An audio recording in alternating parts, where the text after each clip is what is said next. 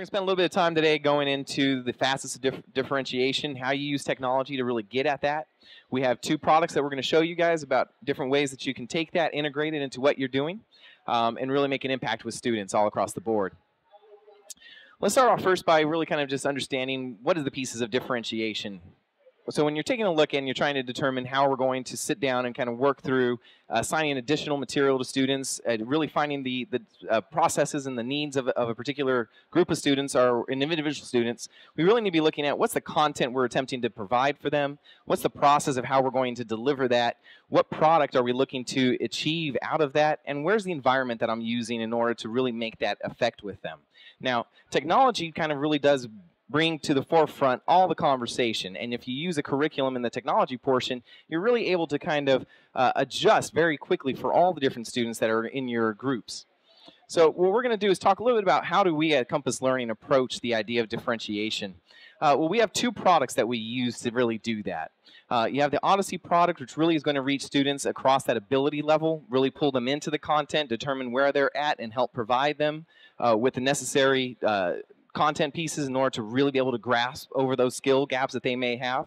Um, you also have Renzulli Learning, which helps to identify a student's interest level, their expression styles, um, and really get into the heart of the whole child and really, to, you know, what is that student really looking for and how are they going to be able to really produce the uh, final outcome, the product that we're looking for at the end as far as that learning.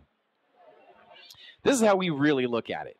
So we have that expression style, ability level, learning style, and interest style. And inside of there, what you really are going to get is a package of what Compass Learning provides as far as the content.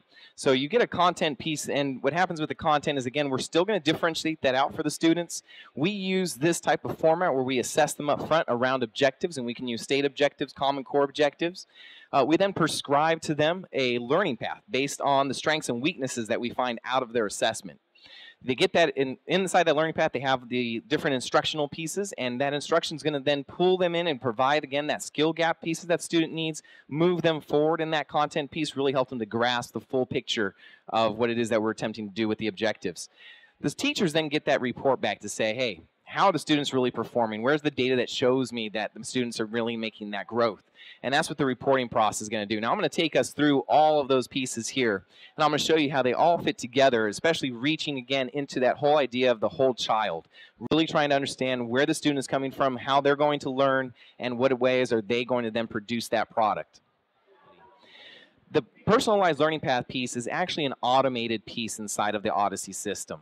So what happens is we choose the objectives, and those can be built around scope and sequences, around particular interventions. They can be built around uh, uh, full course uh, understanding, whatever it is that we're looking for. And then our system assesses them there and automatically prescribes a learning path based on how they perform through that assessment.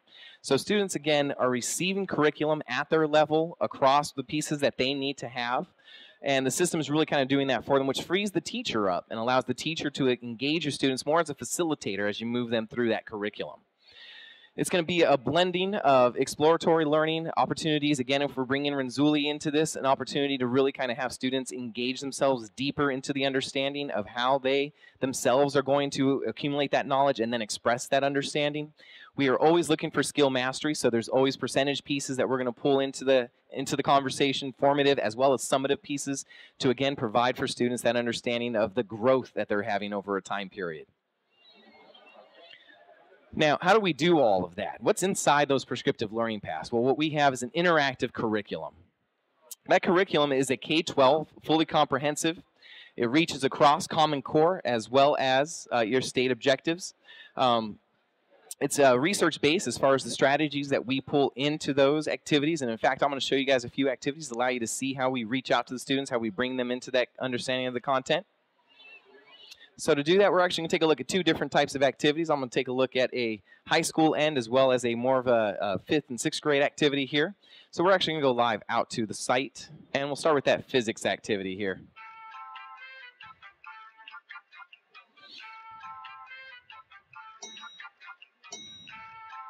We'll skip over that So, little intro and get to the You're down at the. DMV renewing your license, and without even asking, they give you a science license too. Something about all the similarities between driving and physics. How driving is just like conducting a massive science experiment. I guess they felt like having one was as good as having the other. Either way, what do you say we take a spin and do a little sciencing of our own?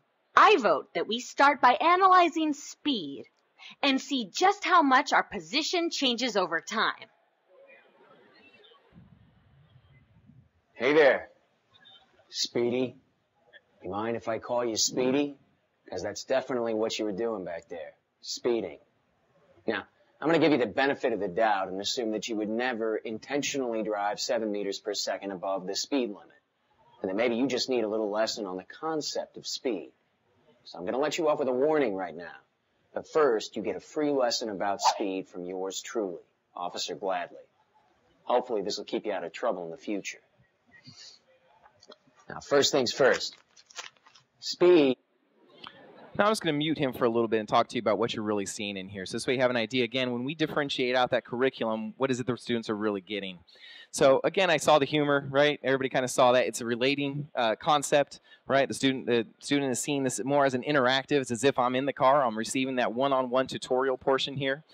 That's really how we're going to reach that student. We want to engage them in that manner to bring them into the content, to provide them an example of what it is that they're really learning. You see that we're going to have the uh, different types of vocabulary is going to pop up on the screen, the different definitions. He's going to be going over the instruction. It's very explicit. It's down to the very letter. Um, and that, again, is really what you're looking for. Again, no matter whether you're looking for intervention, enrichment, you want something for students that when it differentiates out for them, it's going to give them exactly what they need as a whole instead of having to try to have them fit all the different pieces together.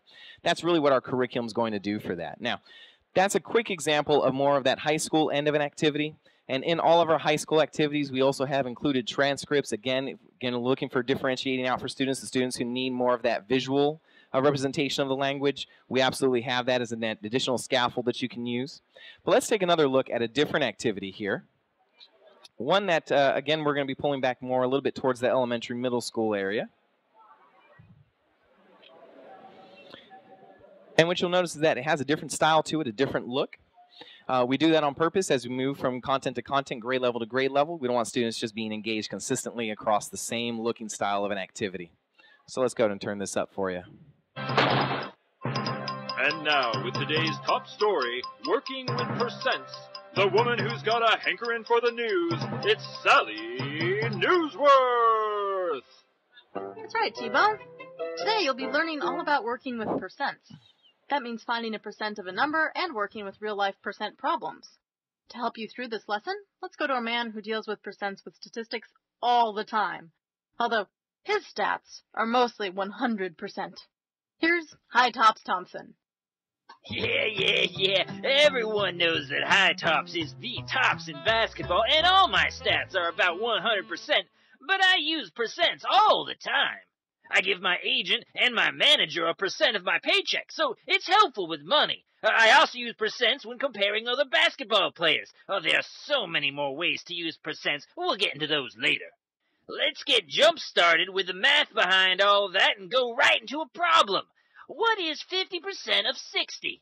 Now check this. Here's one way to solve the problem. First, remember that percent means part of a whole. If I make a chart to show the percents from 0 to 100 in increments of 25, and then place it next to a chart going from 0 to 60, you can probably already see how to solve this problem visually. To find 50% of 60, I placed a red bar up to the 50% mark. Now, now, if 50% is half of 100%, can you find out what half of 60 is? Well, that's right, it's 30. 50% of 60 is 30. To use this method, first set up the 100% grid. Uh, next, you mark the grid for 25, 50, and 75%. Next, write your number and then calculate and I'm going to kind of just let it go and uh, give you a little conversation here. Uh, something that I didn't get a chance to show you through this one or, or, or, the previous one is the comprehension checks that come after the instruction itself. We want to make sure that as they receive the instruction, there's an opportunity for them to practice that and really kind of move forward in their understanding. Um, those comprehension checks have a built-in piece to them that, which is called a critical mistakes framework. What our critical mistake framework is, and it's actually a patented piece for us, what we do with that is based on a student's uh, incorrect response. Instead of popping up a generic reteach to try to push them back on track, we actually use a reteach geared towards their response. So when they actually choose an incorrect response, whether it be A, B, C, or D, um, the system is going to pull up a reteach and say, you chose that because this is the misconception that you have. And we're going to fix that misconception and put you back on track. And again, that's something that's very unique to what we do. I'm going to go and push back to understanding a little bit more of how we use all of this for differentiation.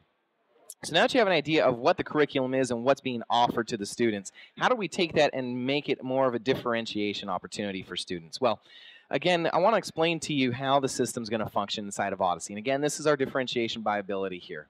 So again, we're going to assess them up front. We have a full diagnostic piece already built into the Odyssey program. Again, it's all built around the state objectives or your Common Core. It then prescribes for them activities based on their performance, mastery, strengths, and weakness. They then receive different styles of activities. Again, you saw a few of those, so that's the type of instruction they're then receiving from that point forward. And from the teacher perspective, you're getting quite a bit of data about the students. Now, when you receive that data, oftentimes there's this whole process around data mining, and we're going to get a talk into how we how we kind of work around data mining, how we use data to really help us again differentiate even more for students. But let's talk a little bit about how does Renzulli come into this picture now. Well, again, Odyssey is capturing that differentiation by ability. Renzulli is really coming in and allowing a student to take a profile, which then allows the teacher and the student to understand how they learn. Where's their interest levels? Um, what kind of expression styles do they like to use? Uh, and it allows us to then wrap around the content around a real uh, a real solidified piece that a student can then produce by the end of it that again is going to be geared towards their interests their levels. Now you wrap that with some of the content that you receive out of, out of odyssey and you get a full knockout piece that again pushes the student through the understanding of the content and then allows them with renzulli to kind of really produce what they really, really need to produce. So let's take this example here for renzulli what happens is, again, a teacher can go right into the Renzulli learning product and actually pick a topic that they want to have for their instruction. What it's then going to do for them, let's say, that we have climate change, what it's then going to do for you as a teacher is it's going to pull all these resources from across the web and say, here are all the different resources, here are all the different projects that you can use with your students around climate change. Now, that's all great, but it's a lot of material that a student then has or that teacher then has to kind of sort through and figure out well what matches with what student? Well what odyssey does for you is it automatically reorganizes all of those resources and puts them into each child so that each child already has their necessary pieces built around again their expression their interests right? And it's allowing the teacher to stick with one topic as they move them forward but every student can now have a different outcome based on how they want to perform that it's a great way for you to be able to have that connection between your students and the curriculum. It's not this curriculum who's kind of driving how my students learn. It's the students driving how they learn, and you're just kind of pushing the content and the topics right to them based on what they what what they're going to produce.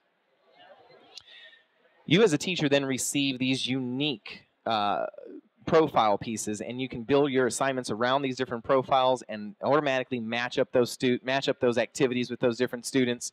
And every student can end up again we're having the same topic across the top there of what we're trying to attempt to learn but each student may have different activities that are going to again meet their needs and allow the teacher to be able to keep the interest and keep the engagement for every student as they move them forward in the curriculum now, again, you tie this type of project-based pieces here, this type of activities that you're pulling out of Renzulli with some content that allows the student to really have the foundation in order to perform on this type of material, and you're going to have that knockout opportunity for differentiation for your kids. So how do we use those assessment pieces? I wanted to show you the process as we walk through assessment inside of Odyssey. How do we actually put this material together and, and how do we assign it out to students? I'm going to show you the process and you're really going to be kind of uh, a little shocked at how simplified the process really is. And then I'm going to take you also through the process of the assessment for Renzulli because there is an assessment in Renzulli. We'll talk about that in a second there. When you go into Odyssey, you have quite a bit of different options inside of there. You'll have your state listed there. You'll have Common Core. You'll have all the different uh, pieces that also align with your, your particular state needs. You then automatically receive back the different objectives that you, again, are being held to from the teaching perspective as far as the uh, mastery level for your students and assessing, assessing for those. That gets pushed over into some uh, properties that you would then assign. One of the most important being that mastery score. You have control over mastery of what percentage you believe mastery to be, or what your district or school site believes mastery to be. The system again automatically pulls the assessment together for you and automatically pulls the learning path for you. So again, here's the process that you do. You're just choosing the objectives you want basically, titling your assessment. And inside that assessment are going to automatically be those activities, same type of activities that you just saw. The system pulls it together. Now, here's what's really great. You're actually getting activities across varying grade levels with, with, within Odyssey. We do that on purpose because we want to be able to scaffold back and pull students forward. And again, it automatically does that for you. Another automatic piece that's built into our learning paths are what we call decision points. What a decision point allows you to do is place mastery over top of the different quizzes that a student then takes inside their learning paths. Those are really key because that is your first level of intervention. Instead of a teacher having to constantly be logged in and trying to figure out is a student mastering, is a student mastering, and everything, just kind of clicking, clicking, clicking, the system's going to take over that responsibility there and say, if the student's kind of clicking through and not reaching your mastery as they continue to move forward, we're going to cycle them back. We're going to have them reattempt right? And then that kind of clarifies for you whether or not the student is really having some problems or whether or not they're just kind of clicking through. How does Renzulli approach assessment? To me, the profiler is really an assessment opportunity. We're going to assess where, again, where a student is across their interest levels, their abilities, their expressions, their learning styles. Again, we're trying to get, capture that whole picture of the student. Really, really understand what it is I'm going to do from my teaching perspective to engage them and bring them into the curriculum. Student then receives a profile. And in their profile, and teachers have access to all these profiles, student also has access to their own profile. I remember when I first took my first profile, it was really interesting because it had me dead on. Dead on. And it showed me what my real interests were, different ways that I like to learn, and all of it was exactly dead on. I, I really love uh, doing group work, um, and it showed that that was my number one style of, of, uh, of, uh, of, uh, of, learning. Um, it showed me my expression style was definitely something where it's more interactive, and as you can tell, that's what I enjoy doing with my with my uh, expression. So uh, this is a really a great, great profile, and it's going to really identify for the students as well as the teacher exactly who these students are that are sitting in your room, how they want to learn that curriculum, and how you're going to be able to engage them. What does that look like again inside of Renzulli Learning? Well, what you're going to get is you get that student and that teacher input. So the student puts into there and says, here's who I am. Here's how I learn. The teacher then sits down and says, well, I'm glad that, that that's how you learn, but here's what I'm also responsible for teaching you. And we're going to push those two things together. When we push those two things together, what you get is what we call the differentiation engine. And the differentiation engine pulls from a huge bank of activities and says, all right, here's all the different activities that you have I'm going to match those different activities up with the learning styles. I'm going to match them up, again, based completely around your teacher scope and sequence, what it is you're responsible for providing.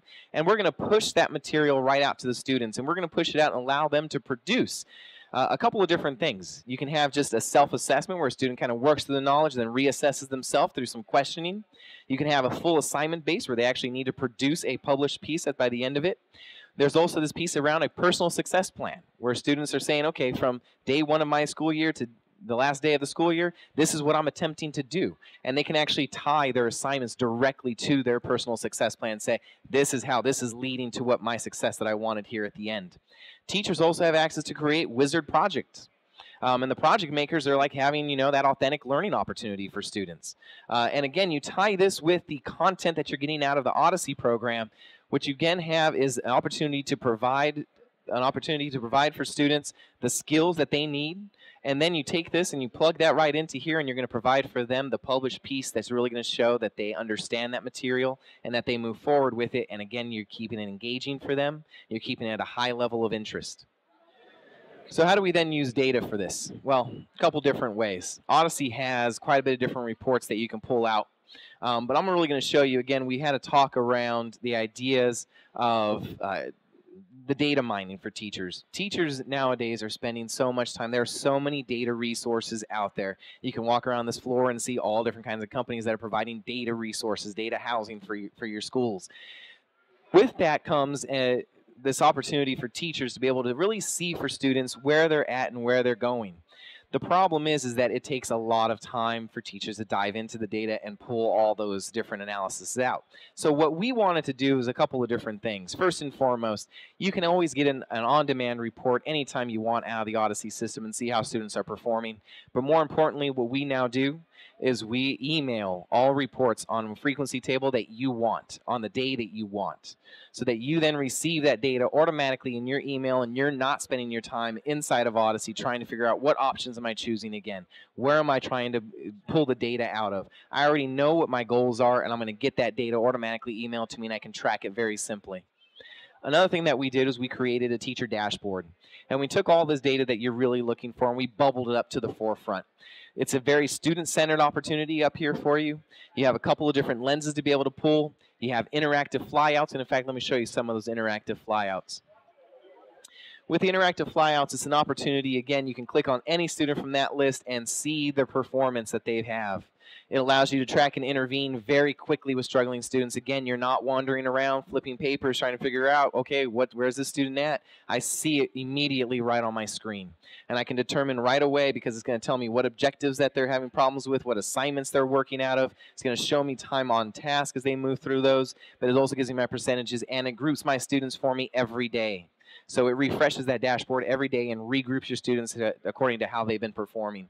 That flyout shows you the last 10 lowest activities. Again, it's going to be grouped by assignment, and it also gives you that time on task. Very key pieces. There's another interactive piece on that dashboard, which is the at a glance option. With the at a glance, what you're getting again is not just a per student, but you're getting it by assignment. So now I can sit down and I can really see by assignment or even by objective that my students have been working on who's performing to where they need to be, who's mastered certain objectives. Again, who's needing that deep intervention. Now, you tie this type of data right back into the Odyssey program or even right into Renzulli Learning, and what you're going to get is an opportunity to bring those students from that intervention all the way up to that enrichment. So again, it's being it's more about being proactive when you're talking about differentiating instruction for your kids. It's not about being reactive. It's about being proactive. And the best way to be proactive is to have the data at your hands, uh, at your fingertips, ready to actually act on.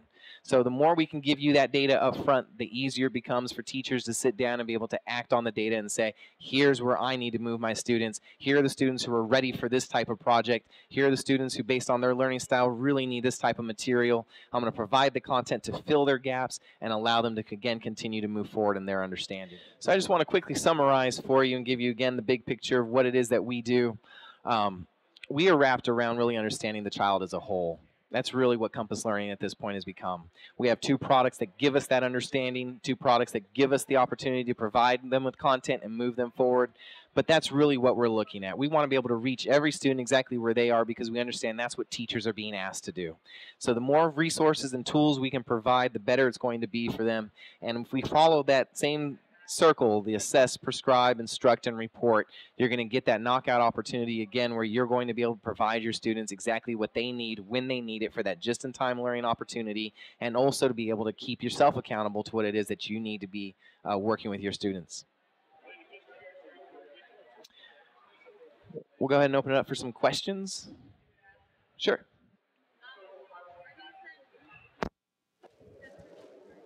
Are these two separate options that you can get? Can you get both? Can you just get one, or do they?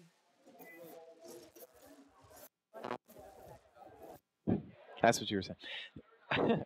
so that's a great question. Um, the answer to that is yes, you can do it where it's either or, you can do it where it's both. Um, as you see, if you're really looking to have a full differentiation opportunity with your students, having both is really going to be the where that money marker is going to be for you because you're going to get that opportunity again to give them content that they need at their level that again you're being held accountable for anyway, but you're also going to be able to engage them in the curriculum through the Renzulli Learning and bring them forward in a true understanding of how they're really going to use that content later. Any other additional questions?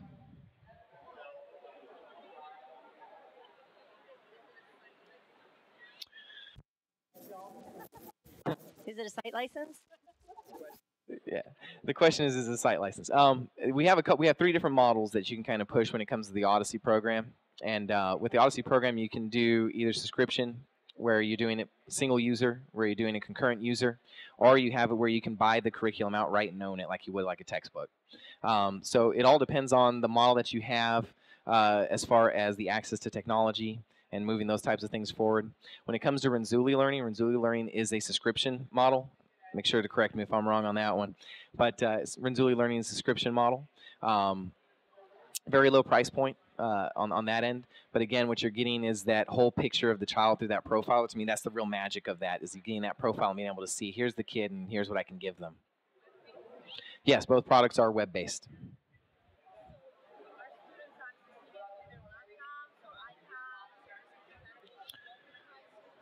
Good question. Um, when it comes down to uh, mobile devices and the different types of technology that students can access the curriculum through, um, Renzulli Learning is definitely something that can be accessed anywhere that you have access to uh, to the internet portion because you're, you're grabbing other websites and pulling them forward for that student. Um, now, if any of those materials have a flash-based piece, then of course you're going to run into some sort of issue with some mobile devices that are on the market. Um, Compass Learning really utilizes a lot of Flash. Um, so at this point, through the, some of the mobile devices, iPad, right, um, you're not going to be able to run Compass Learning to the highest effectiveness that you can. There are ways around through proxy servers and things like that that you can use. Uh, but you can have this done through computer labs, through computer banks that you have in the classroom. Students do it. Um, we have implementations. she's she's having fun with me. Look at that. but we have implementations where students actually do it as a homework tool. Uh, we also have implementations where you know the whole idea of the flipped classroom is really you know very prevalent right now. Or we're seeing a lot of uh, great data coming out of that, and so we have a lot of that being used as well. So kids are kind of pre pre being preloaded with with curriculum up front, and then showing into the classroom with a basis of understanding, and then able to have a conversation around that. So different ways to access it, different technology pieces. Again, it all depends on the infrastructure of a school site. Do you have any free trials? Another good question. Uh, from our website, you actually can see all the different curriculum. So you have access to be able to preview curriculum from there. Uh, we do do what's called proof of concepts. So you know, if you want to sit down and have a targeted group that you wanted to trial this around, uh, we can definitely work with you around those types of things. Um, but when we do those types of material, we really want to make sure that we're being very targeted and that we're really focusing in because we're going to do it for a short window and we want to see those results. Um, so absolutely, we can definitely do something to make sure that you try it before you buy it, kind of thing. Absolutely, we can do that. Anything else? Fantastic. Thank you guys so much. Uh, we are over at 1218, uh, booth 1218, down all the way at the end over there. So if you do have additional questions, you want to come by, you want to see even more curriculum, definitely come by. We'll, we can dive even deeper. All right. Thank you guys. And thank you very much for allowing us the opportunity to be here.